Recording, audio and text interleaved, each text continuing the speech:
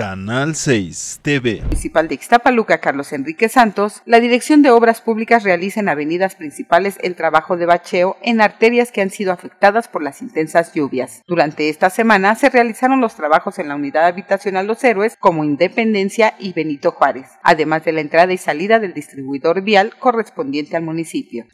Mira, en estas fechas que tenemos bastantes lluvias es cuando nuestro pavimento asfáltico sufre de bastante deterioro y hay que estarles dando mantenimiento aún en estas épocas de lluvia. Sobre el Boulevard de San Buenaventura también se han realizado trabajos de bacheo en una primera etapa y se continuará durante el resto de la semana con los trabajos en este punto, por lo que el director de Obras Públicas, Jorge Sánchez Bonilla, invita a la ciudadanía que utiliza esta arteria vehicular tener paciencia en los trabajos que se realizan para beneficio de los habitantes.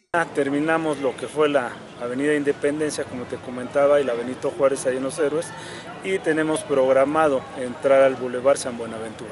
Mira, tenemos contemplado entrar el día de mañana en lo que es el Boulevard San Buenaventura, en el tramo que comprende de lo que conocemos como el Puente Bigotes a la Glorieta Canutillo. Sánchez Bonilla mencionó que además de los recorridos de las brigadas para detectar los lugares más afectados, también se apoyan en los reportes que se realizan a Presidencia Municipal al número telefónico de línea directa 2606-7804, mismas que son canalizadas a la Dirección de Obras Públicas del Ayuntamiento. Reportó para Canal 6 Noticias, Alejandra Valverde.